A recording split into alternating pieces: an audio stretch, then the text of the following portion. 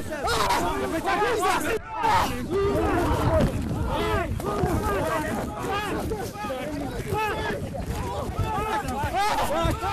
we're here at Leinster House today to highlight one of the biggest political scandals of our time, a political scandal that virtually nobody is talking about. But before I get to that, I want to take you back to 2005 and the emergence of a major national campaign to oppose the giveaway of the Corrib natural gas field by the then Fianna Fáil and Green Party government.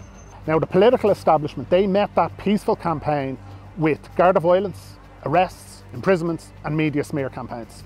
And in the end, we lost the battle for Corrib and Big Energy started pumping ashore that natural gas in 2015.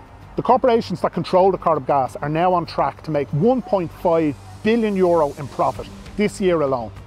Now 1.5 billion euro is the equivalent of 500 euro from every single household in the 32 counties of Ireland. And if we aren't willing to pay those prices, those corporations can simply turn off the tap.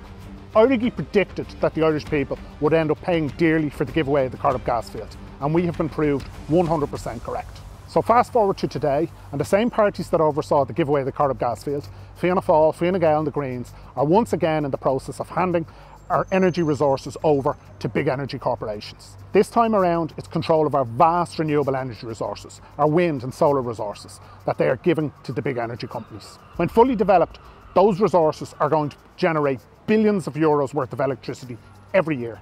And unlike the Corrib gas field, it isn't going to run out after a few years. They will generate billions of euros every year for decades to come.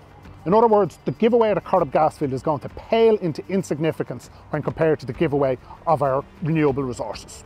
And that's why we're here today, to highlight and oppose the scandalous giveaway of Ireland's renewable energy resources. Now thankfully it isn't too late to stop this latest giveaway, but it isn't going to be stopped by the, so, by the government or by the so-called opposition in Leinster House.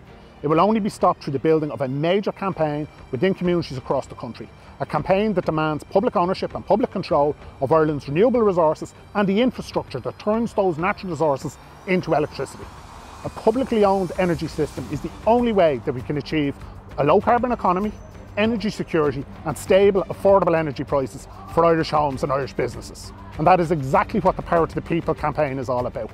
I'd encourage you, to go onto the Éirígí website, read up about the campaign. If you like what you read, get in touch with us and join the campaign for energy justice and a new republic.